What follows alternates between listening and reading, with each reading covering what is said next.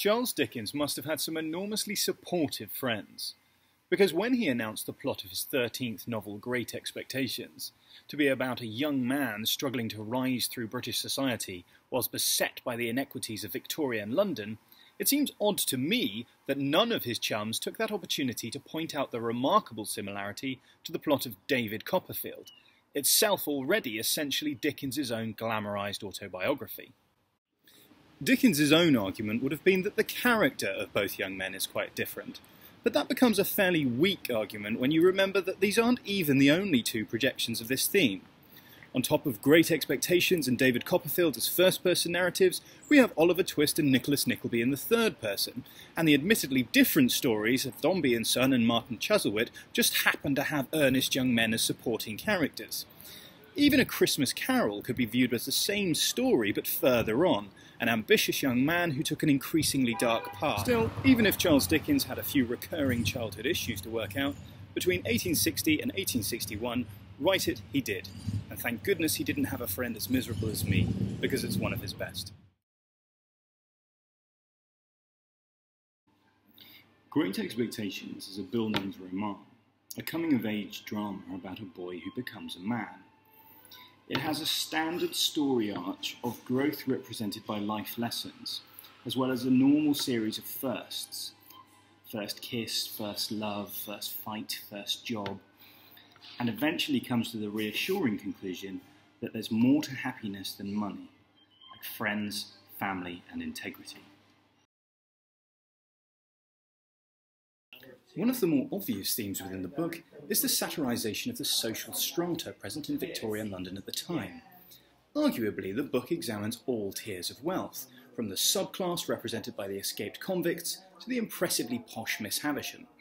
Through the lens of Pip's hyper-developed social conscious, stand fast the sins he commits through his feelings of social inferiority, we learn that the rich are in fact no better than the poor.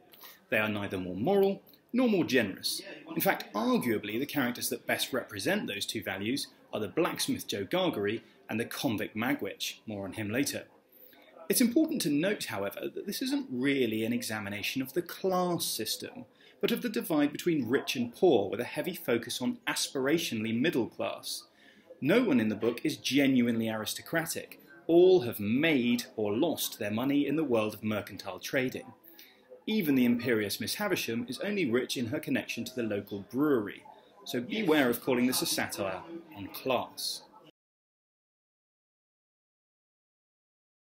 It's a little insubstantial to dwell on, but it's worth at least being aware of the motif of duality which threads through this book. There are two convicts, two young gentlemen, two benefactors, two shrew-like females, and two significant love interests. Whether that's coincidence or a commentary on our potential to take more than one path is debatable.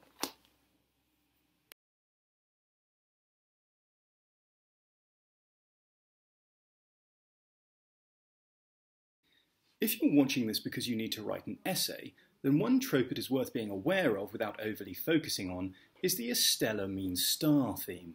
This is the idea that Dickens used the name Estella, Latin for star, because the character represents an untainable ideal for Pip, or less arcanely, simply because stars are cold and beautiful. A clever idea that has been parroted so many times that it's utterly played out. And if you mention it in your essay as if it's just occurred to you, then at best you'll come across as a rather tired, unoriginal thinker, and at worst as someone happy to substitute any old cliche for actual critical analysis. If you are going to bring it up, I suggest you bring it up to criticise. Better instead to talk about Dickens's use of names generally, which tend to be either suggestive, an obvious use of puns, hence the weak but at least genuinely Dickensian hypothesis that Havisham is half a sham in her hypocrisy, in fact, more worthy of comment would be the absence of the absurd in the name Joe Gargery, which renders him a sort of saint in a world of abnormally eccentric caricatures. If you must have a theory about Estella, a more intriguing and less widely quoted one is the idea that she represents a personification of Dickens's own frustration. In 1857, Dickens met Ellen Ternan, or Nell, a fresh-faced 17-year-old actress with whom he became immediately smitten. Dickens had married young, and by now the glamour of his marriage had thoroughly worn off. course, we can't especially blame Nell for being reluctant to sleep with this probably rather smelly giant of Victorian literature, more than 25 years her senior. In fact, we owe her more than one debt of gratitude, because one of the recurring criticisms of early Dickens regards his significantly two dimensional female characters, who are almost all either caricatures or insufferably perfect and virtuous young women. Nell, however, was intelligent, vivacious, and determined, and after he meets her, we see Dickens's representations start to change, first in Great Expectations, then Our Mutual Friend, and finally in Edwin Drood. Unfortunately, Dickens died before that misogyny was perfectly diluted, but still, thanks Nell.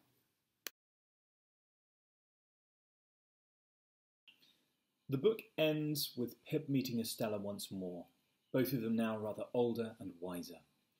And it finishes with the deliciously ambiguous line I saw no shadow of another parting from her. And so we are left with a hint that they ended up together. And a hint was probably all that Dickens wanted to give, because although that is certainly what the readers of the time wanted, and several of his friends campaigned hard for when they read the draft, it wasn't the original ending that Dickens had penned.